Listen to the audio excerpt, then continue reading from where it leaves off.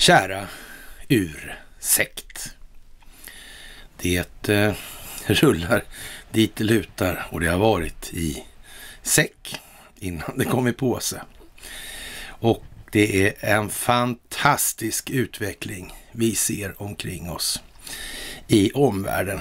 Men eh, det kanske inte är fullt så fantastiskt att vara svensk just vid det här tillfället i världshistorien. Vi har lite att ta igen vad det gäller självbildsrevisionen i förhållande till omvärlden. Idag är det onsdag den eh, 3 mars 2021. Och ja, då är det dags för ett onsdagsmys. Conny är på uppdrag under en stund här idag och imorgon, så han är tillbaka imorgon. Och det är möjligt att vi kör en imorgon, annars så kör vi på fredag, har jag tänkt.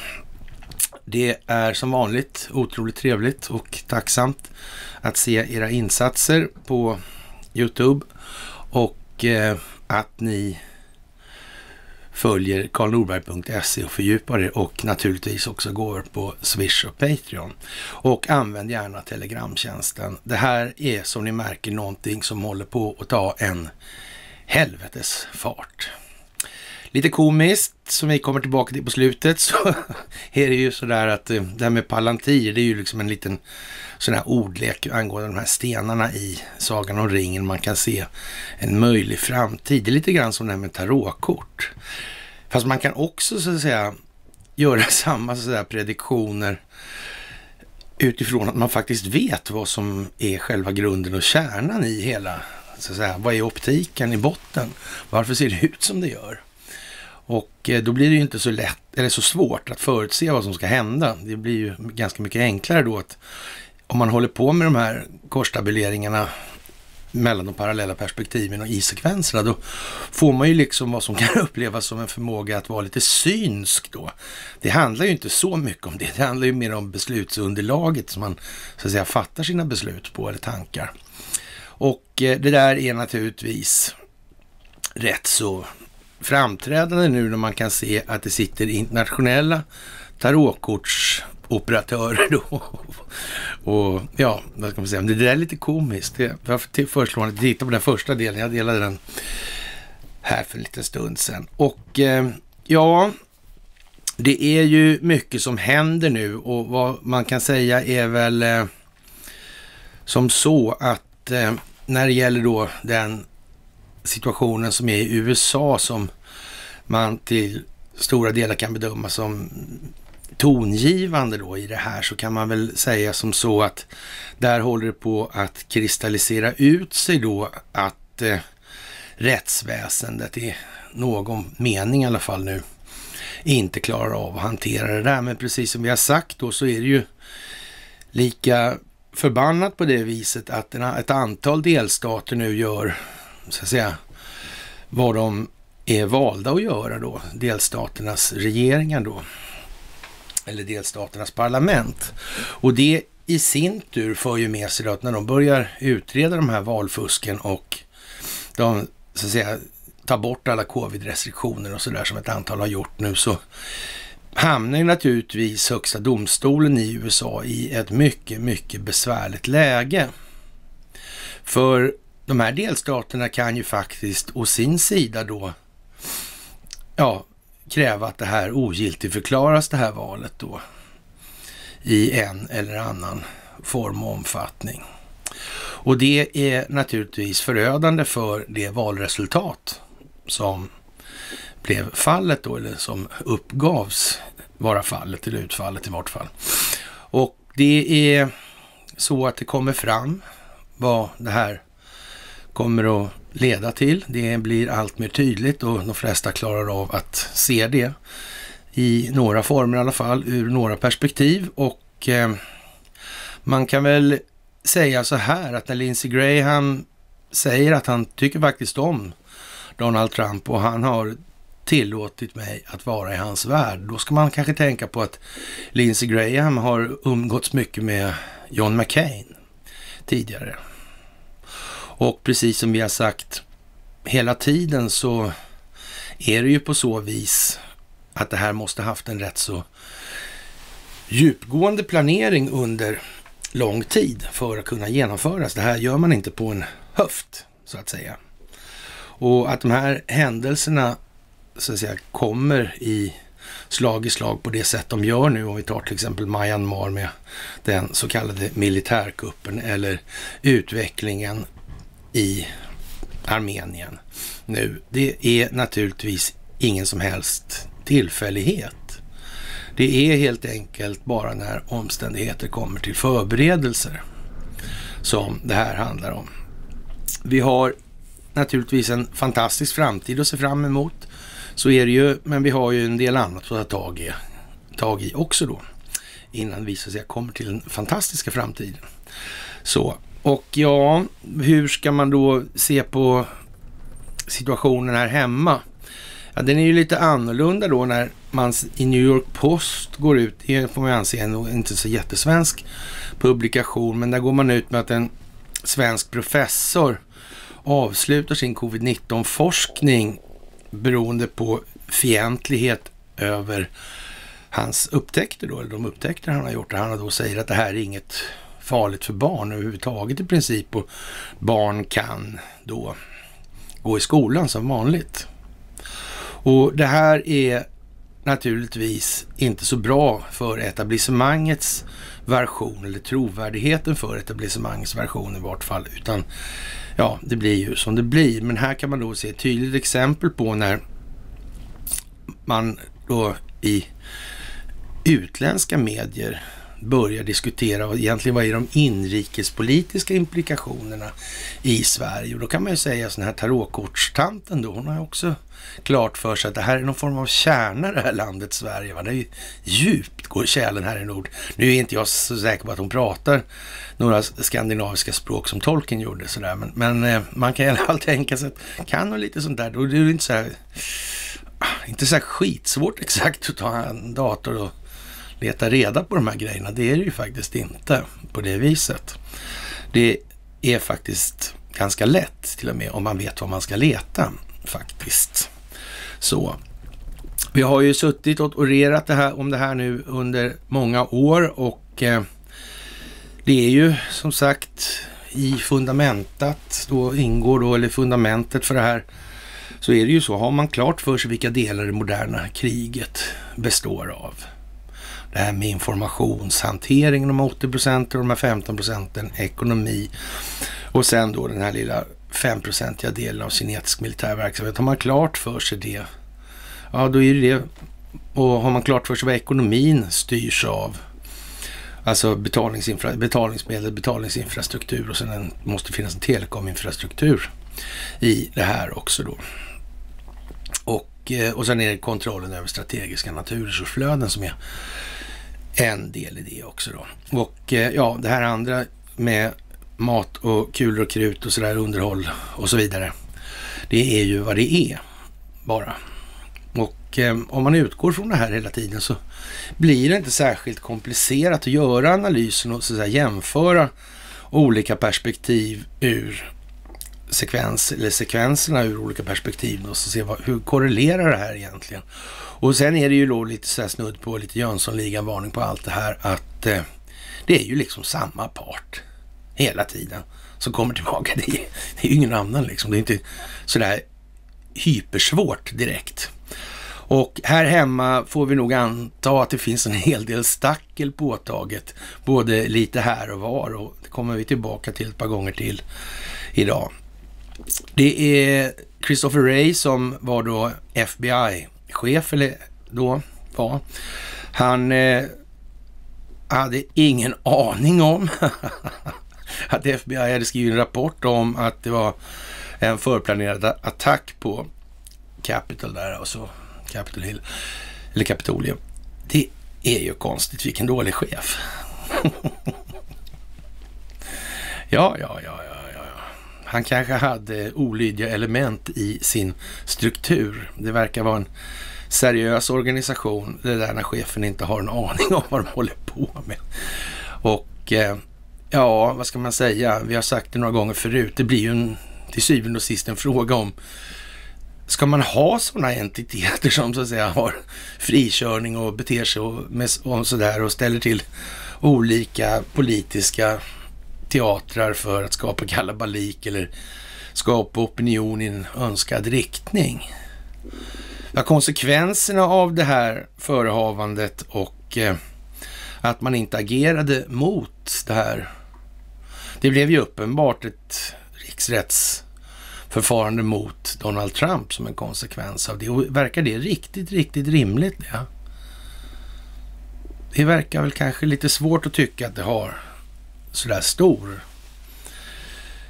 ja, motivgrund helt enkelt. Det är ju lite halvt B helt enkelt. Och ja, och för att prata vidare om Christopher Wray så vittnar han då inför senaten om att det finns inga bevis för att det var fake Trump-supporters hur man nu ska bevisa det. Men det blir som sagt, det blir bara dummare i det här och eh, det är ju frågan om inte Christopher Ray spelar den här rollen med fullt uppsåt. Och så att säga har varit med på noterna under lång tid i det här mot då ett antal eftergifter för saker som han inte eller som man inte har skött grannlaga då, då. Kan man ju tänka sig i alla fall. Och sen kan det naturligtvis vara att han är fullt insvuren när hela skiten är planerat. Det ska vi inte heller sticka under stol med att det är möjligt.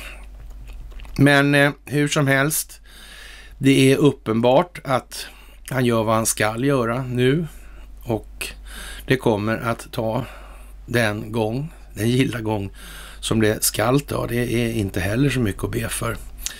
Här hemma har vi lite annat på gång och det är i Aftonbladet säger man då att KDs attack på S har egna trollfabriker säger då Kristdemokraterna att Socialdemokraterna har. Det var ju förargligt. Har de? Ja, för länge sedan då, om vi säger så här, då i ja, mitten på 2000-talet, eller innan, vi kan säga så här, innan Göran Persson blev statsminister i vart fall, så satt ju han och höll på på nätet. Också en gång i tiden. Och skrev med insändare under anonyma profiler. Så det där kanske inte är något helt nytt.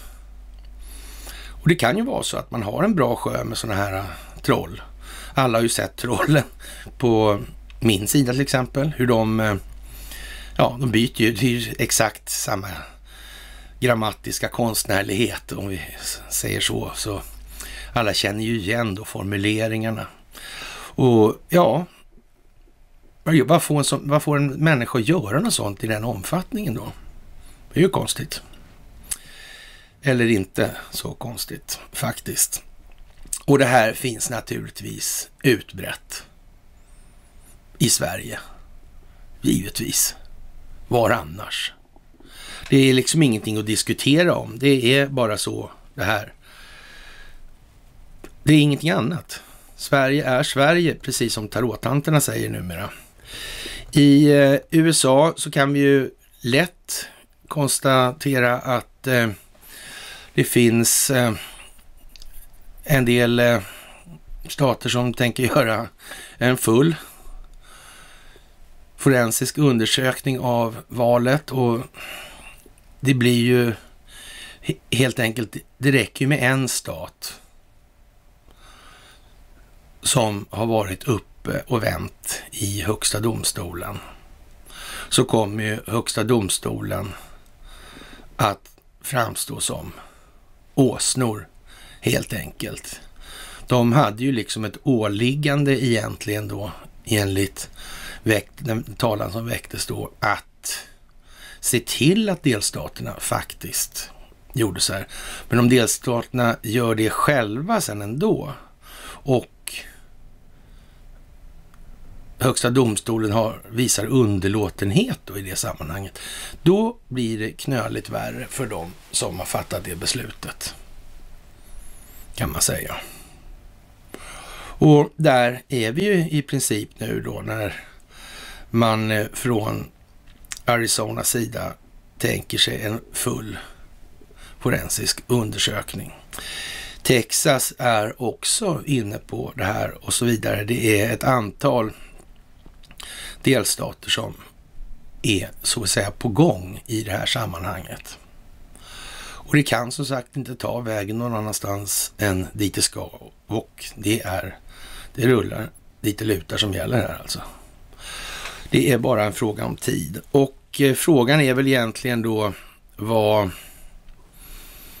herr underlivsporslin egentligen gör och är det herr underlivsporslin egentligen? Är han eh, konstitutionellt sett president eller är han någonting annat? Kanske rent av en, ja, någon form av exekutivgubbe, alltså en verkställare av någon form klart kanske vilken det är egentligen, men ja, det får man faktiskt fundera lite på här nu. Och det kommer att kristallisera ut sig. Det är alldeles helt säkert. Det kan vi titta i våra magiska kristallkulor och se faktiskt. Och vi kan dessutom räkna ut det baklänges. Det är riktigt roligt det här med er och hur det går det här. Och som alla är så rörande eniga om i alla trådar. Så ja, det kommer att bli vad det ska. Men eh, vi har ju en grannlaga uppgift i och med vår omgivning och omvärld och man får ju förstå att de som håller fast vid de här vanföreställningarna om att det faktiskt fungerar att eh, rösta inom ramen för det här systemet så att systemet förgör sig själv. De får nog faktiskt tänka till lite mer än så.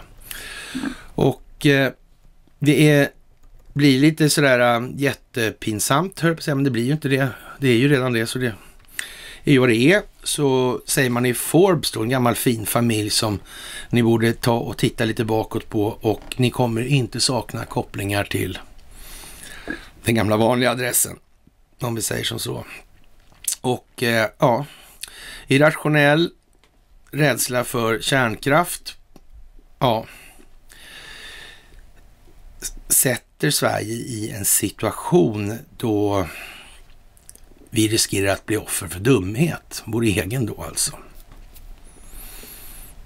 Ja, och ni har alla sett den här situationen med energifrågorna och eh, ni vet vilken roll som miljörörelsen spelar där och ni vet vilka roller miljörörelsen har spelat annars i det här opinionsbildningsspelet och så vidare. Det är dumheten håller på att kväva landet. Som det nu är. Och det duger alltså inte. Vi kan inte ha det på det viset. Det behövs inte mycket till, men och inom en alldeles snar framtid och några till sådana här ytterligare glidningar på vad som krävs för att få folk i rätt riktning kommer att hjälpa oss att få stil på det här. Det är så att de ägardirektivstyrda opinionsbildningsmedierna nu har stackel på sig ordentligt och är tvungna att vända på sig lite. Det är, ja så att säga, oemotståndliga erbjudanden som har delats ut. Alldeles säkert. Några av dem kanske rent utav funderar lite på sin egen gärning och om de inte har varit lite tokigt på bollen kanske, man vet ju inte. Men eh, ja, det är ju Die Dummer ett nära 400, 400 år gammalt uttryck som tog sin form under 30-åriga kriget och det var ju ett tag sedan. Ja. Det var ungefär då Stockholmsbyråkratin kom till och det var ungefär då som eh, Kalmar Nyckel på uppdrag av Axel Oxenstierna seglade till Delaware och skapade Amerikas första stat eller skapade det som blev Amerikas första stat. Och det kan man ju ha i åtanke i dagens läge. Så det går inte att sitta så mycket djupare i något annat lands struktur än vad som man lyckades åstadkomma den gången. Det är helt klart. Ja, trängseln ökar här hemma, så då är det slutfikat på kvällen och eh, då blir folk irriterade.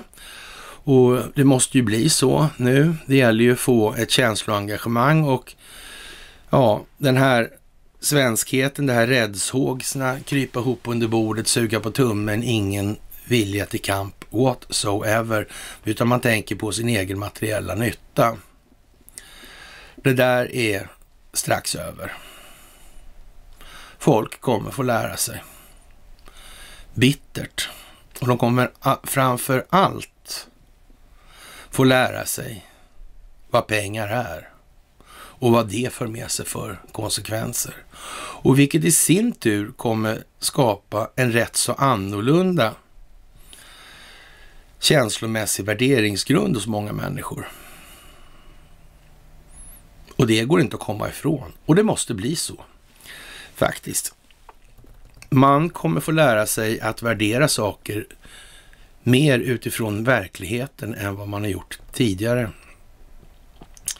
Det är naturligtvis speciellt när en Texas-guvernör går ut och säger att nej men vi kör. Vi stänger, tar bort alla nedstängningar och tar bort alla munböjkrav och tar bort allt det här. Och då kan man se det i ljuset av vad som faktiskt händer under förutsättningarna av samma då pandemi runt om i världen så här. Och företrädesvis då i USA. Och då måste man ändå ställa sig frågan, hur är det rimligt det här verkligen? Och varför agerar då vår folkhälsomyndighet på det sätt som de gör nu, eller som den gör nu? Med hänsyn taget till vad som sker i omvärlden. Och det är ju så att det sker ju faktiskt till, alltså rent av löjeväckande utspel i de här sammanhangen. Till och med det alltså. För att tydliggöra vad det här egentligen är för någonting. Och vi lägger som sagt som vi har sagt hela tiden, att vi lägger inga virologiska aspekter på det där. Jag menar, sitta där och tjattra om DNA-strängar och molekyler hit och dit, dit. det blir man aldrig färdig med helt enkelt. Det finns andra saker som det här är ägnat att dölja. Och det är uppenbart och ingenting annat. Det är en bra grej att ta med sig inför den avslutningen på veckan som kommer. Det I skidspåret höll jag på att säga, det är ju en sån här bra grej. Ingmar Stenmark och allt det här var ju fantastiskt för alla ja, skolungar en gång i tiden. Och eh, ja, de har ju åkt i fjällen folk och de blir inte så sjuka. Tydligen. Och det har till och med varit någon epidemiolog som har tyckt att det har inte lett till någon ökad smittspridning i de här sammanhangen. Nej, det har inte det.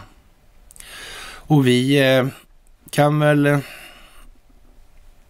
tänka oss att på hela taget så kanske det inte blir så mycket med det här viruset när det kommer och hamnar mellan skål och vägg. Det kan ju vara så att man har så att säga främst har friserat statistiken och främst hållit på och administrerat skräckporr för att hålla befolkningen på tå. Men det där fungerar inte längre för det blir inte trovärdigt när amerikanska delstater helt plötsligt bara säger nu är det borta, nu är det ingenting. Det, det är något fel på allt det här. Det, där det här är inte trovärdigt. Och så vidare. Och sen kommer ju ovanpå det kommer det här då vaccinet då som i sig är en historia som, eh, ja, det är ju svårt att tro att enskilda vinstmaximeringsenheter håller på och tillverkar vaccin för någonting annat än sin egen nyttas skull. Vad är det för dumheter? Såklart de inte gör. Det, det är helt självklart så. Och tittar man historiskt sett på vad de här fina företagen håller på med bak i IG Farben och det här. Ja, men då får man ju vara tröttare än trött alltså. För att inte se mönstret. Man höll väl inte på med de här experimenten i Auschwitz som ägdes till delar av IG Farben, eller Monowitz-delen då i alla fall. Ja, och, men det hade väl sett jävligt osnyggt ut om man hade ägt alltihopa. Men Hitler hade ju inte ens existerat utan IG Farbens uppbackning. Men där höll man alltså på med den typen av experiment på människor. Och om man tittar då en historisk analogi på det här, ja men det här med eh, skallmätningar och sånt där, det, var det, det hölls det på med på annat håll också. Intressant. Och det kanske man ska komma ihåg också. Det här hade sin grund någonstans. Och det är väl som tarotkortstanten säger, även om jag inte tror ett ögonblick på själva så att säga, funktionsmässiga delen i kort. Blandandet där. Men det är såklart att är hon läskunnig så går det väl att läsa sig till det här. Det vet jag fler som har gjort om man säger. Det är ju liksom inte mer. Det finns ju faktiskt. Och det har ju ni upptäckt också. Det går ju att hitta. Det är inte ens särskilt svårt. Det mesta står ju öppet. Ibland får man ta fram de gamla böckerna och sitta och gno och gnugga i dem då liksom. Ibland springer man på en ny gammal bok och tittar man ojsan, är det så här också? Vilken ser man på ja. Ja, det är inget annat, det är bara det. Det är som sagt, det här med skidåkningen är ju en lite sådär äh, halvkontrovers, eller vad man ska säga för att vara svensk vidkommande. Det är ju så lite moderna delen av så från 70-talet då. Ja, vår moderna tid då, om man säger. Och just det är ju så heligt då, men det har man ju faktiskt från den djupa statens sida arrangerat själv. Alltså. Det är ju inte så att musikunder och de här grejerna, alltså de starka opinionsbildningsmässiga korten, inte fanns eller att det inte fanns en så säga, opinionsbildningsmässig baktanke med de här grejerna. Och, och det har väl aldrig varit så många svenskar som varit så svenska som när Ingmar Stenmark åkte skidor. Och det i sin tur innebar ju då att ja, men vårt svenska är värt att försvara. Vi har ju både Björn Borg och Ingmar Stenmark och en hel del fantastiska 56er. Ja. ja, det tror fan att vi inte vill att ryssarna ska komma hit och kriga då. Men det var ju också en sån här kuliss som man hade byggt upp. Kalla kriget alltså. Och det här får man liksom inte glömma att eh, det där är liksom bara, det är ju inte ens löjeväckande om man tar och plockar isär i delar. Det är mycket speciellt därför i det här läget när man då går ut med från SVT Nyheter då att eh, AstraZeneca ställer in möte med svenska mediechefer. Det här är ju faktiskt riktigt speciellt. Och då har man namngivit då ett antal då Aftonbladets publisher Lena K Samuelsson, DNs chefredaktör Peter Wolodarski och Expressens chefredaktör Claes Granström. Det är ju inte som precis exakt några kvartsfigurer inom mediala sammanhang i Sverige. Och den här är fantastiskt, eh, ja, och inbjudna var också då eh, Sveriges Radios verkställande direktör Hanna Stjärne och Silla Bänköl. Och jag vet inte, det gick väl inte sådär våldsamt mycket mer kanske, men eh, och eh, ja, Läkemedelsbolaget vill också beskriva vilken roll deras vaccin spelar på den globala marknaden. Och eh, ja, Deltagarna fick bjuda ledarskribenter och kommentatorer men uppmanades att inte spela in något av det som sades. För en öppen diskussion ber vi om att inte spela in eller citera direkt från mötet. Det är ju speciellt kanske. Det får man väl säga. Och eh, enligt då kommunikationsdirektören på AstraZeneca, Jakob Lund, så fanns det inga baktankar med mötet. Han bjöd in med de med mediatopparna i landet utan en enda baktanke. Det får man säga är speciellt alltså. det, det, är ju ändå lite, ingen planering alltså. Nej, och eh, ja, det var inget tema för det där helt enkelt påstod han. Och eh, det är, vad ska man säga, det här är ju en väckarklocka-artikel. Så, som folk borde förstå. Det här är ju helt idiotiskt. Och eh, nu är ju, är ju Paul Ronge som han är, va? men han är måste väl säga det också antar jag. Så han är, han är förvånad, eller han, Paul Ronge förvånades över upplägget då. Han har aldrig hört talas om något liknande. Det är inte riktigt klokt ur mediasynpunkt. AstraZeneca får en presskonferens om du vill förmedla ett budskap, säger han. Ja. Och han tycker att de ska tänka efter om de ska delta i det här, men ja, man kan väl säga så här, Paul Ronge säger också så här, det är ett djärvt grepp av AstraZeneca, ett lika djärvt grepp av chefredaktörerna borde de samlas och bestämdes för att ingen av dem är med på de här för grejerna då. då. Och eh, ja, och sen under tisdag eftermiddagen då så meddelade AstraZeneca att mötet ställs in. Jag är inte säker på att det här går att eh,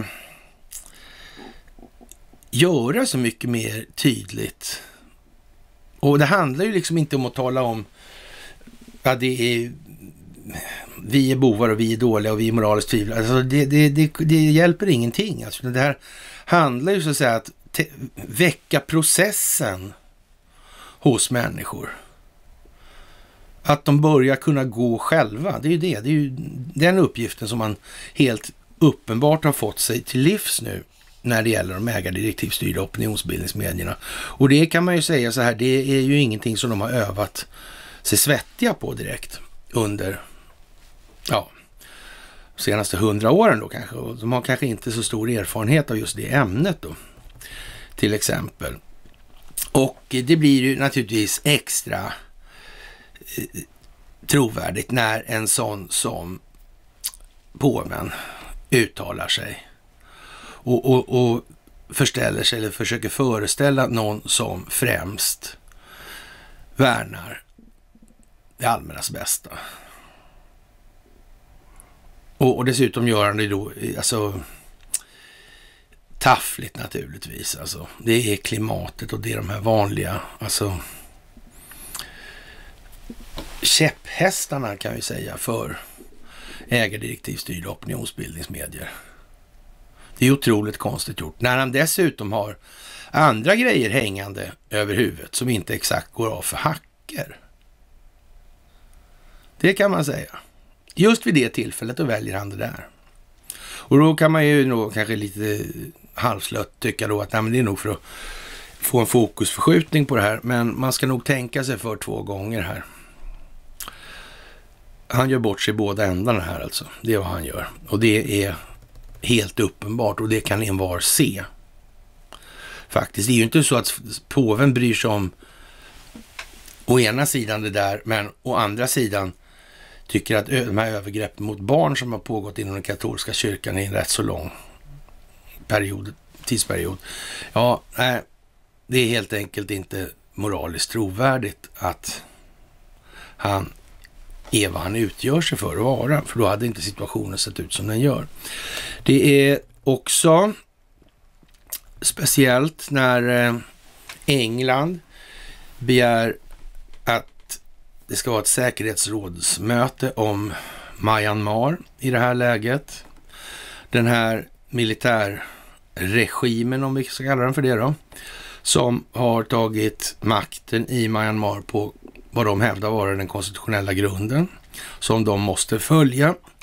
Den har naturligtvis bäring även på ett annat land på jorden och det är Amerikas förenta stater.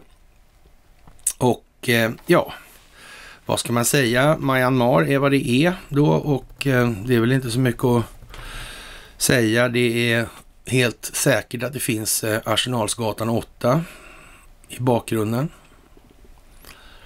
med Myanmars militär till exempel. Och eh, det här med eh, AI är ju vad det är och de här kvantumdatorernas användning är ju vad å ena sidan vad den djupa staten vill att den ska vara. Och sen finns det de som motverkar den djupa staten och vill använda de här, och här, de här datorerna och den här datakapaciteten till något annat som är bättre för mänskligheten än vad det är för några enskilda nyttomaximeringsintressen, så kan man säga. Och eh, ungefär som det är nu, alltså det här systemet skulle ju kunna användas fantastiskt bra. Om de som kontrollerade systemet ville det. Men nu vill de inte det. Och då blir det som det är istället.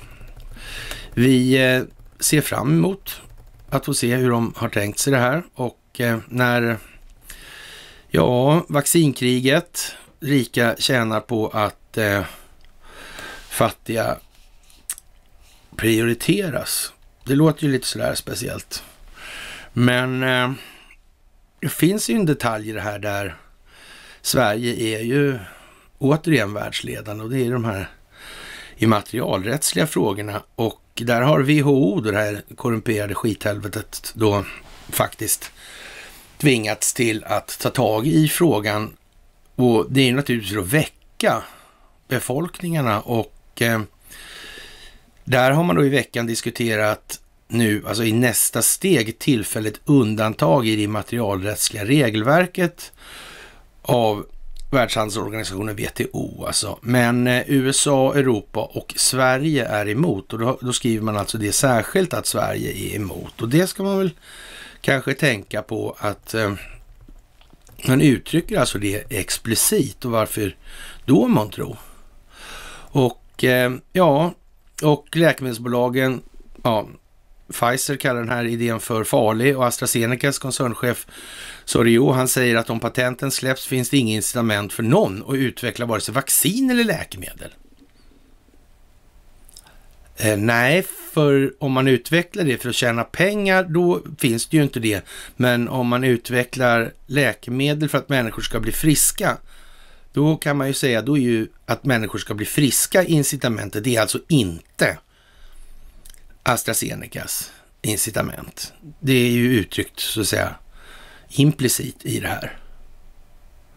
Även om det nästan är explicit. Och ja, det är ju Bengt Mattsson, vaccinexpert på branschorganisationen LIF och det är ja, forskande läkemedelsföretag i Sverige då, instämmer. Det vore en otroligt farlig väg att gå. Patentskyddet är en förutsättning för ett innovationsdrivet samhälle. Utan det hade vi aldrig suttit här idag med flera vaccin, säger han. Ja, och det här handlar ju om att folk ska ju få upp ögonen för det här i materialrätten.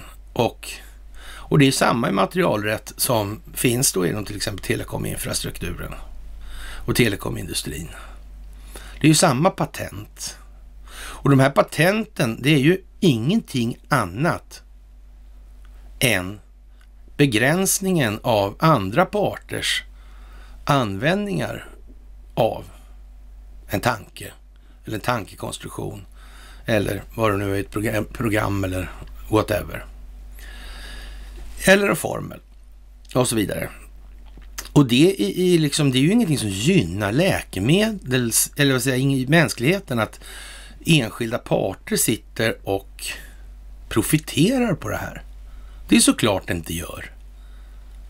Och då fråga, annars får man ställa sig frågan, ja men hur mycket ska de få profitera då? När, var går gränsen?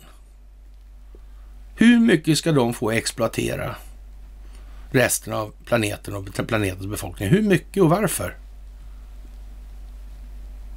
Och det här är ju liksom hål i huvudet. Det här är ju som, det där är ju eh, alltså patenträtt när informationsrörlighetsriktningen har skiftat, har gjort ett skift där alltså. Jag menar, det hade man, kan man ju möjligen acceptera då i, i, så länge den var så att säga rakt igenom vertikal i princip då. Men i det här läget är ju liksom immaterialrätten är ju liksom, det är ju kalanka. Det är ju bara så och ingenting annat. Och det kommer vi också att få lära oss som befolkning. Det är jättesäkert så. Och då kan man ju säga så här att de här globala patenten och det här, det är ju naturligtvis vad det är bara. Det är precis som med Saurons öga där när ringen åker ner i elden. Den är, det är bara, allting är borta bara. Det är bara så. Och eh, ja, man eh, i eh, på olika håll så börjar man ju nysta i historien då om det här gamla med IG Farben och man kan säga så här. Ja, Hollandske Koopman Bank var en sån bank i Nederländerna där och runt här i Luxemburg och Belgien, där är det ju lite som det är i de här sammanhangen när det gäller de här gamla bolagsstrukturerna med IG-farmen. Och de banker som har funnits där, det är ju inte så där jättebra kanske för svensk vidkommande att det är så att säga någonting som kommer i dagen när det gäller hur folk ska se på Sverige och svenskarna. Men nu är det ju så en gång att vi har ju tagit emot en ja, vad ska man säga, välmarinerad info, informationsmassa som vi har tilldelats utan ifrågasättande och därför blir det ju som det blir nu också. Och eh, det här är ju naturligtvis kopplat och AstraZeneca som jag sagt tidigare då, det är ju kopplat då till den här eugenikrörelsen då med Margaret Sanger och det är egentligen inte Margaret Sanger i botten på den utan det kommer från det stället där alla de här dumheterna började med så att säga rasteorierna då och rasbiologin och den första rasbiologiska sällskapet och rasbiologiska institutet 1921 på Uppsala universitet och Herman Lundborg och de här. Det är Retzius och det är ett riktigt gäng alltså. Och det var skallmätningar hit och dit och så vidare. Men eh, ja, det fanns ju liksom ingen sådär ja, det fanns inte grund för det på det sättet riktigt, så det var inte moget heller sådär. Men man, man trimmade ju på där ordentligt under 30-talet då med. Men, men då sa man att det var en religion istället. Och, för det gick ju aldrig att bevisa att det var, judendomen var något annat än en religion. Och det går ju fortfarande ingen som kan bevisa det. Så det är ju faktiskt bara en religion. Och då blir ju det här, alltså hela, vad ska man säga, rasism. Historien utan raser är ju någonting som är lite halv urtida, kan vi säga så eller? ja, och det här är ju naturligtvis så stenhårt svenskt kopplat med den här naturligtvis Planned Parenthood-historien och den startade så i internationella sammanhang av svenska RFSL. Och sen har ju då det här Planned Parenthood International blivit någon form av jätteadministration för att handla med fosterdelar till exempel. Då. Och det är ju som det är, men eh, det här måste ju naturligtvis göras om och göras rätt. Och eh, ja, vi kanske inte ska skriva till morsan och vara stolta över det då, kan man väl säga. Och det här, eh, ja eh, ja, ja, Pfizer City, det gamla nazist, nazifästet, världens hopp då, angående vacciner. Ja, precis. Kopplingarna till Sverige är alltså inte exakt obetydliga. De är helt klara sådär. När det gäller de här batterifabrikerna här och var så är ju då naturligtvis den här energifrågan som kommer tillbaka och hur mycket de här drar egentligen och hur egentligen ser då energipolitiken ut i grund och botten och hur ser framförallt kanske energimarknaden ut? Och vad är egentligen kostnaden för en producerad kilowattimme? Ja, vad de säger att den är, det är, men eh, som sagt, om man inte ens kan tala om hur eller vad pengar är och vilka konsekvenser det för med sig för den ekonomiska utvecklingen för samhället i stort. Då kanske man ska vara försiktig då innan man försöker torgföra det här sådär jättehårt. Och eh, ja, vi vet ju inte egentligen vad någonting kostar eftersom hela prisbildningsmekanismen är förvrängd i förhållande till betalningsmedlet. Betalningsmedlet i sig har ju ett pris för sin användning i form av den här ackumulerade räntekostnaden i ekonomin totalt. Och det är ju liksom ingenting som räknas på så vis. Det blir ju alltså en mindre och mindre del av pengarna som går till den produktiva delen av ekonomin och en allt mer växande del går till den finansiella delen i det här. Och det är ju ganska bra att komma ihåg. Som sagt, i Texas står de på och eh, ja, lycka till för omvärlden och eh, försöka förklara bort det. Det kommer gå åt helvete och eh, det kommer väl gå här några dygn då det ström, strömmar till och då kommer det bli storm i vattenglaset. Helt säkert. Det är uppe nu i internationella sammanhang att eh, de här eh, ja, telekomjättarna eller internetjättarna, de fuskar med likesen och eh, prenumerationerna och visningarna. Jaså? Ja. Ja, ja. Men eh, då, då så. Det kan man säga så här, det var väl kanske inga stora nyheter faktiskt.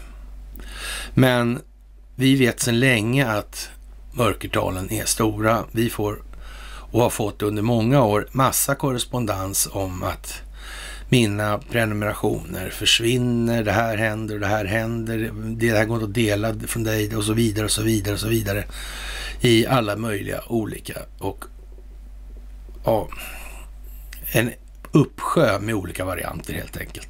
Och det är naturligtvis precis vad som sker. Folk ser det här och folk förstår det och ingen litar på de här techjättarna längre på det viset. Det försvinner visningar, gilla-markeringar och prenumeranter och så vidare och det är bara som det är. Det är jätteroligt det här med Texas och eh, det är den största amerikanska staten som har gjort det här lilla steget då att kliva ur hela idiotin. Och dessutom har ju de en eh, rätt så, så att säga stadfäst anledning till att adressera energifrågan och ägandet av energiinfrastrukturen, alltså kraftförsörjningsnätet till exempel. Och där saknas det, som vi har sagt massa gånger nu, där saknas det inga kopplingar till den gamla vanliga adressen. Det är bara som det är helt enkelt. Sen händer något konstigt idag som är mycket, mycket, mycket anmärkningsvärt. Det finns en, eh, ja, en journalist som heter Lindvall faktiskt. Och eh, Lindvall han och jag har haft mer än lite korrespondens genom åren. Vi har haft mycket korrespondens och eh, han blev arg då när jag publicerade korrespondensen mellan varven så därför han ville inte riktigt gå med på det här sättet att beskriva banksystemet på som jag har hållit mig med. Eh, alltså i evigheters evigheter pratar vi om här. Och eh, ja, men i början här för över tio år sedan och också så. Jag, hör, jag, jag, skrev ju mycket till olika journalister och förklarade att det faktiskt fungerar på det här viset. Då man kan väl säga så här att ja, det var intressant och så, men, men eh, ja, det blev ju ingenting och sen ja, Cervenka eller hon Neurath där eller ja, det är en, helt, en drös alltså. Men i alla fall Per Lindvall, han eh, blev arg då för jag publicerade, jag publicerade på bloggen. Så om ni tittar på bloggen då så kan ni ju söka på Per Lindvall så ser ni då att det finns ett antal kommunikationer där som ja, beskriver det här och, och 2012 senast tror jag väl det var sista gången här då, så förklarade jag för han då ut vad det här är för någonting. Och då får man naturligtvis vara lite sådär, ja man får ta det man kan inte börja med fractional reserve, reserve lending, liksom. man måste säga banking, liksom. fast det är ju liksom någonting som stäms av i efterhand. Så det, ah. Men skit, man får vara lite sådär, eh, sova räv-pedagogisk eller vad jag ska kalla det för. För att det inte ska slå tvärnit då. Men i alla fall fick jag någon sån här diskussion med han som vart rätt lång i och för sig. lagt den som inledning på den här artikeln som den här Lindvall har skrivit idag då i vad var det nu heter? Den här Resumé heter den inte va? Den heter, ja vad det nu heter. Du ser. Eh, och eh, då är det i alla fall lite sådär halv speciellt med herr Lindvall i det här. För han realtid han tar nu bladet från munnen för första gången. Den här snubben har ju alltså varit och, ja, E24 och Svenska Dagbladet och vad han har varit. Han har varit på massa ställen sådär. Då. Men nu säger han som det är alltså. Och, nu är, och det här är ju väldigt märkligt då kan man tycka att nu eh, faktiskt har han blad. Nu är det inte så att han skriker ihjäl som skuldmättnad och sådana där grejer. Det får vi ta en sak i taget ändå trots allt. Men då är det ju liksom, det, det här är ju lite anmärkningsvärt att man för första gången säger då att det är faktiskt precis så här det är. Och eh, då kom, för följdfrågan blir naturligtvis så här, så om, om nu, det, som nu Lindvall, nu, Lindvall numera tycks förstå så blir systemet alltså mättat på skuld men kräver ändå tillväxt. Nu säger han ju inte det, för, men det blir ju liksom konsekvensen av det här att pengarna skapas med en kostnad på, av ränta liksom. Det, det är ju så. Det hänger liksom med va. Och eh, ja, det är bara att söka på hans namn. Men han, det kräver ju ändå tillväxt alltså. Alltså systemet blir mättat på skuld men fortsätter att kräva tillväxt. Mer pengar. Och då förstår jag att det blir liksom lite fel då. då. Sådär, och det tar inte han upp då. Och, och politiker tar inte heller upp det. Vad kan det bero på möjligen?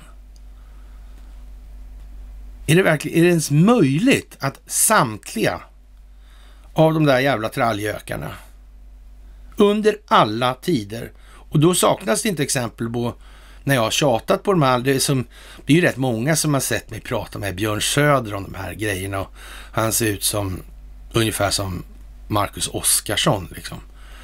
Lite tunnhårigare möjligen då kanske. Och, och ja, men om man har sett mig med Göran Hägglund eller har det finns ju några stycken, alltså sådana här liksom tyngre gubbar som, eller tyngre och tyngre, det ska man väl inte säga, men i alla fall sådana här gubbar.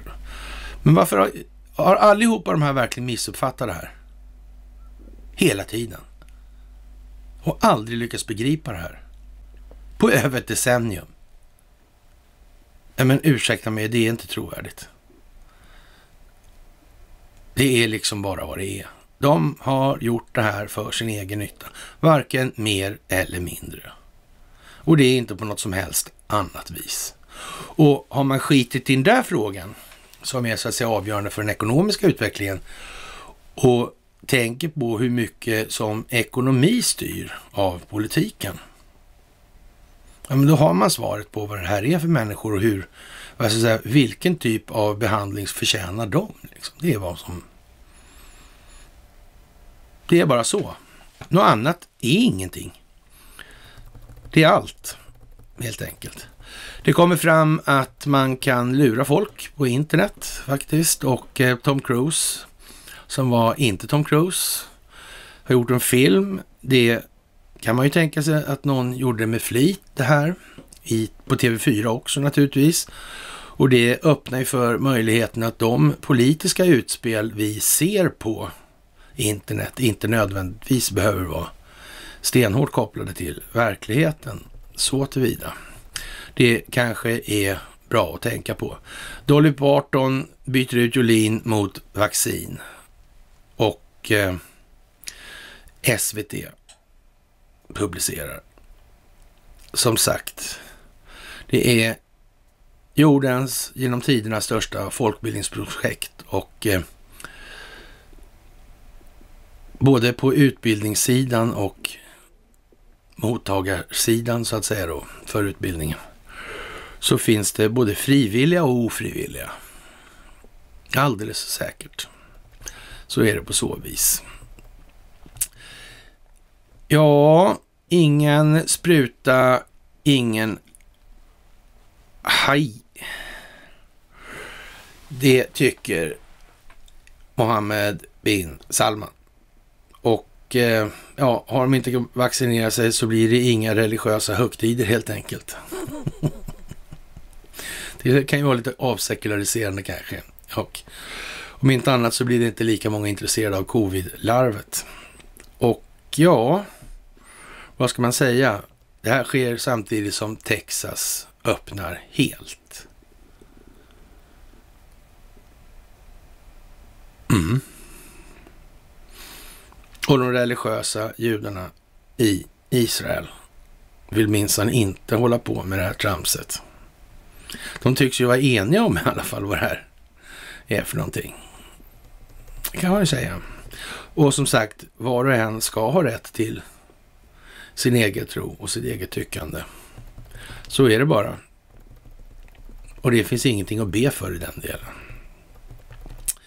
Ja, och sen kommer vi till Myanmar då och kan man konstatera att New York Times skriver att eh, Myanmar-regimen använder svensk teknik och det är naturligtvis inga nyheter för oss som känner till det här. Om man, ja, det finns ett svenskt bolag, Microsystemation, MSAB, som levererar högteknologi till militären. Deras enheter kan ladda ner innehåll från mobiltelefoner, återskapa raderade artiklar och så vidare. Och ja, det är väl inte sådär äh, våldsamt mycket att säga egentligen. Det är ju som inget nytt och det är ju återigen det här att de ljuger rakt av. Henrik Kärnberg, ordförande i MSAB, han säger att en del av bolagets teknik hamnade i Myanmar för ett par år sedan, men att man inte längre säljer utrustning på grund av EUs exportförbud. Han svarar enligt New York Times inte på varför MSBs, MSABs produkter förekom i den senaste budgeten. Det är ju som det är alltså. Vad fan finns det att säga? Det är liksom inte mycket att prata om. Och eh, ja, de har ju kommit undan med det här under lång tid, men det får det vara slut med nu. Hillary Clinton är i Skandinavien, ah, faggorna i alla fall till Skandinavien och det gäller naturligtvis kvinnokonferenser. Ja, jag vet inte vad vi ska säga i den delen. Det är som det är bara.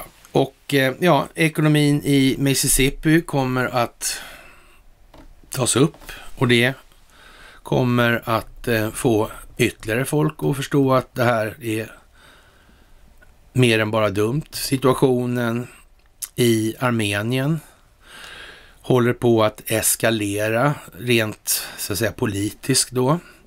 Och Ryssland har tagit till orda angående den armeniske premiärministerns olika utspel och den armeniska militären har alltså krävt den armeniske premiärministerns avgång.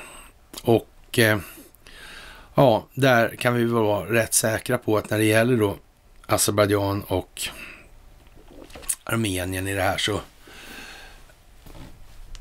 någon håller en, eller Kreml håller en vakande hand över det här politiska utspelsscenariot. Det är jättesäkert och Armenien är alltså, eller alltså så här, hårt kopplat till Iran i det här. Det ligger ju liksom inte sådär jättelångt ifrån om vi uttrycker det som så. Då. Och eh, ja, det är väl inte så mycket att säga så här. Biden-administrationen kommer inte sanktionera MBS, verkligen inte.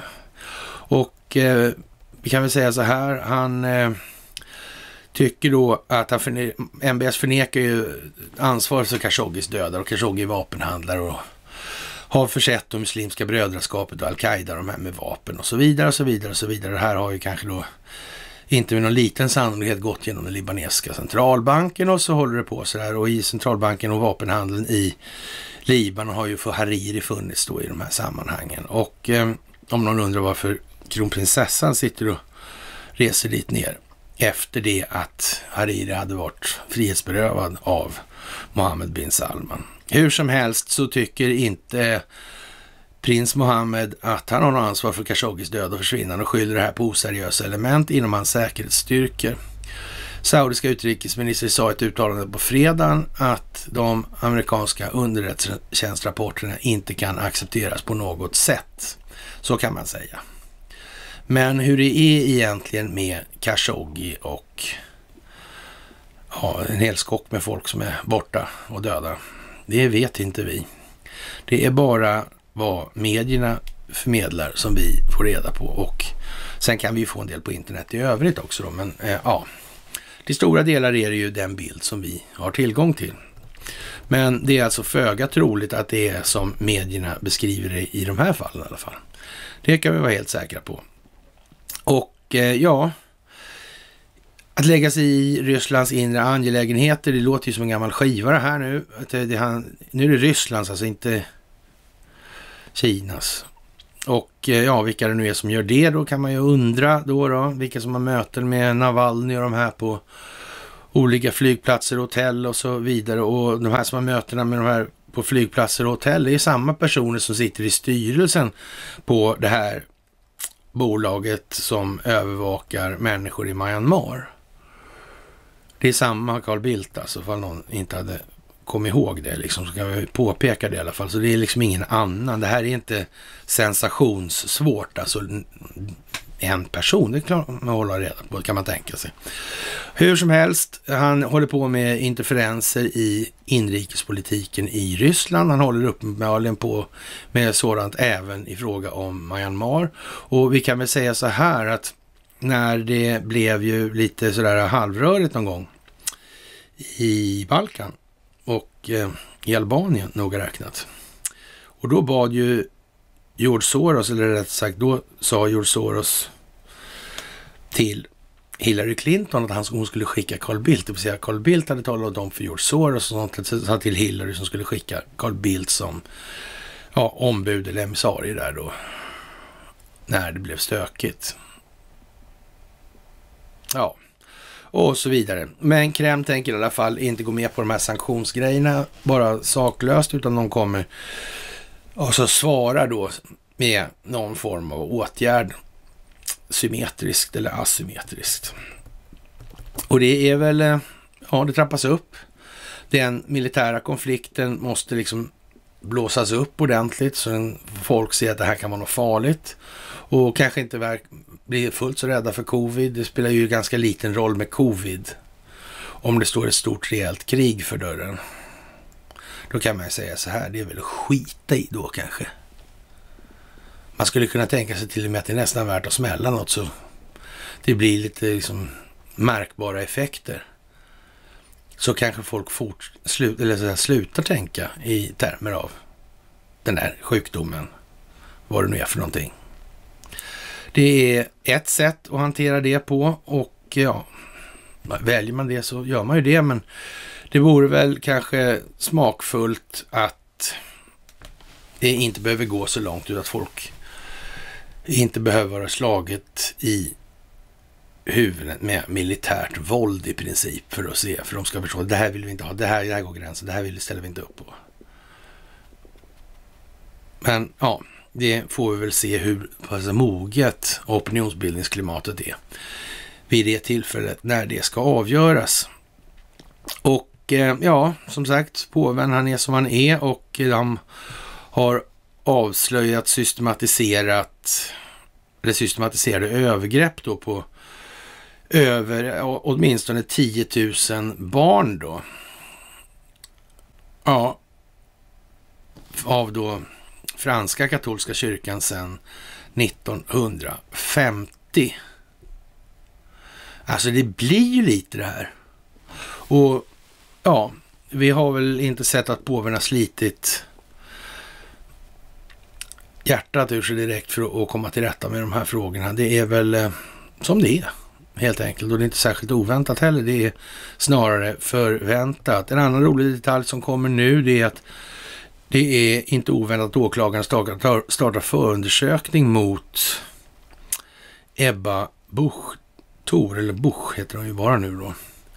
Och eh, det svenska rättssystemet är vad det är och eh, det är lite roligt sådär för det, det, det, är också det här immaterialrättsliga skyddet då kan man säga. Det gäller ju till exempel stigmatiseringsbegrepp som antisemit eller nazist eller förintelseförnekare. Det är ju som så att det har ju till exempel Expo patent på. De är ju så att säga den sakrättsliga instans som gör den bedömningen då, eller den processrättsliga instansen kanske vi ska säga snarare. Då är det så att har man fått stämpel på sig av Expo så som, var, Expo så som varades det ena och det andra, då är det som gäller för så att säga mediakollektivet i stort. Och det där kan man inte värja sig mot på något sätt. I amerikansk rätt så hade man ju kunnat kanske göra någonting åt det där på så vis. Men det, det, går ju inte att ha så i Sverige för då tappar ju så att säga, om man då så att säga, skulle utsätta de här begreppen för en rättslig prövning och så, då skulle det så att säga inneboende grund och eller etymologiska grund hos själva begreppen som sådana behöva definieras på ett helt annat sätt för att kunna ha rättslig bäring. Och det vill man ju inte vara med om såklart. Såklart inte. Och därför är det ju också så att den här typen av slaskigheter den förekommer naturligtvis i, ett, i rätt stor omfattning i ett land som Sverige. Det ligger liksom i själva, ja, i själva prylen helt enkelt. Det ska ju vara så. Och det är ju intressant då när man då börjar prata om det här med förtalen då och Ebba Busch därför att nu är det ju så att det svenska rättssystemet kommer att behöva revideras kapitalt. Och en av de grejer som så att säga kommer att spelar en roll i det här, det är det här med falska tillvitelser. Alltså man säger att du är så här och så här därför att. Och jag menar, det, det blir ju liksom hur löjligt som helst. Ja, och sen är det då dessutom samma part som är då dömande då för det här då, vem du är och du, nu är du förnekare eller prosemit eller vad det nu är för någonting. Det är du, du är inte människan, människa, nu är du det där istället. Ja, men då måste ju det så att säga bevisas. Det är ju lättare att visa om man är en mördare då, sådär, som tekniskt. Och då kan man ju säga så, då är en, i lagens mening. Men då måste ju säga, ja, vissa rekvisit måste liksom vara uppfyllda för att det ska bli så då. Men det här går ju inte att uppfylla de, några rekvisit alls alltså. Det går ju liksom inte att Daniel Pohl och Jonathan Lehmann sitter och tycker liksom. Och sen uppmuntrar då den här Martin Agård då, liksom, nej men kom igen nu alltså. Det blir helt fel. Och eh, ja, det där kommer att komma. Och det ska ju bli riktigt roligt att se hur de ska hantera det då. Då ska vi ha diskussionen om människovärde och så vidare. Och så där, den moraliska bildning man kanske ska hålla sig med om man ska hålla på och diskutera de här sakerna överhuvudtaget. Det skulle ju kunna vara något, kanske. Ja, men kära ni, nu har vi suttit här och eh, hållit låda en stund igen då och och eh, ja, det är som sagt onsdag. Stort tack för att ni gör det ni gör och eh, det är fantastiskt att se den utveckling som eh, vi har här i Sverige och särskilt i den här ursekten. Det är otroligt bra. Det är så glatt. Faktiskt, jag tycker det är fantastiskt. Och med det får jag väl önska herrskapet en trevlig piglördag då då. Och sen så får vi väl hoppas, skulle, äh, in sådär med utvandrarna, vi låter bli det. Och eh, ja, vi syns på fredag senast, kanske imorgon. Beror på lite vad som händer under kvällen. Men det finns saker att fylla ut med om vi säger som så. Och annars kan jag och Conny sitta och hålla lådan en stund och tråka ut det lite. Okej, okay. trevlig kväll.